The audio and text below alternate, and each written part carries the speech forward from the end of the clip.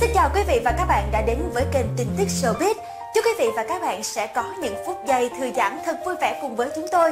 Và đừng quên nhấn vào nút đăng ký bên dưới và chuông thông báo để được xem những tin tức mới nhất mỗi ngày nhé. Và bây giờ, xin mời quý khán giả sẽ cùng đến với những tin tức nổi bật nhất trong ngày.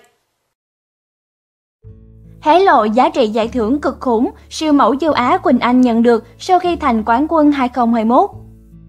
Đêm chung kết Supermodel Me mùa thứ 6 đã chính thức khép lại vào tối ngày 13 tháng 12 với sự tranh tài của ba đại diện Nikki Philippines, Hana Singapore và Quỳnh Anh đại diện Việt Nam đã xuất sắc giành vị trí cao nhất trong cuộc thi năm nay.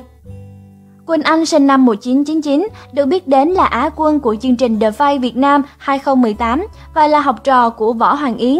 Cô đã bay sang Singapore để ghi hình cho chương trình Supermodel Me từ tháng 5 2021 và cạnh tranh với 12 thí sinh đến từ các nước bao gồm Thái Lan, Singapore, Philippines. Với việc trở thành quán quân Việt Nam đầu tiên trong một cuộc thi người mẫu tầm cỡ châu Á, Quỳnh Anh đang là cái tên nóng nhất mạng xã hội lúc này. Bên cạnh đó, giải thưởng mà nữ người mẫu nhận được khi đạt vị trí cao nhất cũng khiến nhiều khán giả quan tâm. Quỳnh Anh sẽ nhận được các giải thưởng sau và các đãi ngộ sau đây.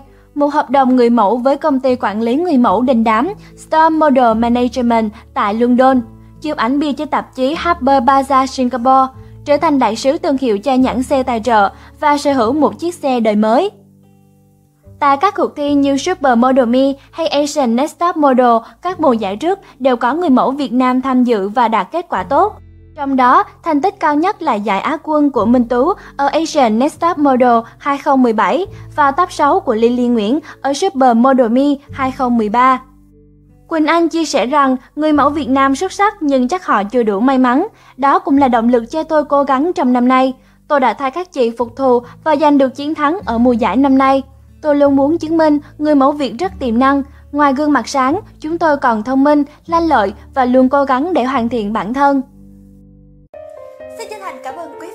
Bạn đã quan tâm và theo dõi video.